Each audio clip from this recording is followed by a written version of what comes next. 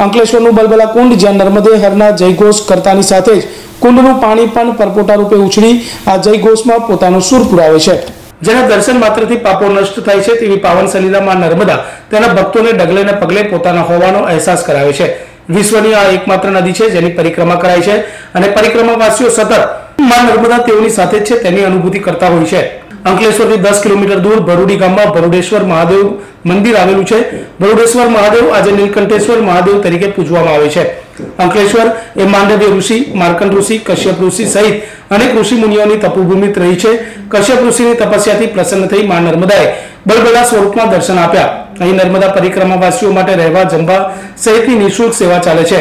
અહીંના કુંડમાં કહેવાય છે કે ત્યાં નર્મદા મૈયાનો જયઘોષ કરતાની સાથે જ કુંડમાં પરપોટા ઉદ- ઉદ્ભવે છે. અને આ પરપોટા પણ જાણે નર્મદા મૈયાના જયઘોષમાં પોતાનો સૂર પુરાવતા હોય તેવી અનુભૂતિ થઈ રહી છે.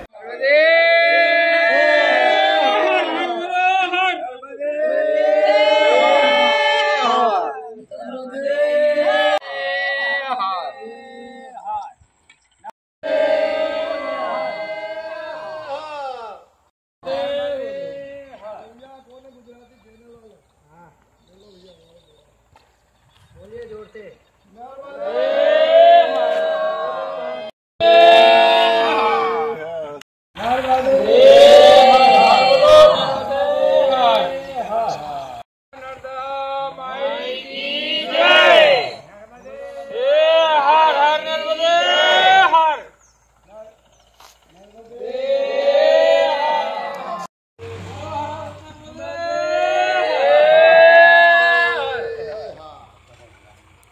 मेरा नाम स्वामी राजराजेश्वर गिरी कश्यप पीठ पीठाधीश्वर। ये कश्यप ऋषि आश्रम है। इसकी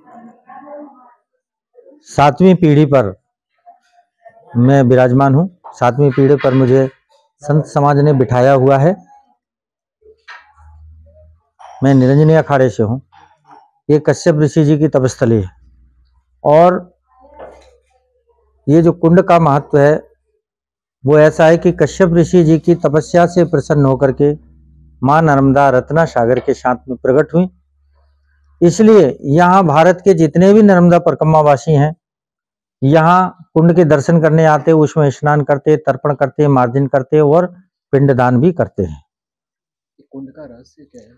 इस कुंड का रहस्य यही है कि कश्यप ऋषि जी की तपस्या से नर्मदा जी प्रसन्न हुई और प्रसन्न होकर के रत्ना सागर के साथ इस कुंड के बुलबुला कुंड के रूप में प्रकट हुई। समय से? ये इसका उल्लेख ऐसा है महाराज जी कि कश्यप ऋषि जी आदि ऋषि माने जाते हैं। जब से सृष्टि प्रारंभ हुई है तब से कश्यप ऋषि जी सप्त ऋषियों में पहले ऋषि माने जाते हैं और दूसरे ब्रह्मा जी माने जाते हैं। चौदह लोकों में जितनी भी संतान है आप और हम सब जीव जंतु से लेकर के सब कश्यप ऋषि जी की ही संतान है। इसलिए ये आश्रम जो है अनादिकाल से चला आ रहा है। जब से सृष्टि हुई है, तब से आश्रम की स्थापना हुई।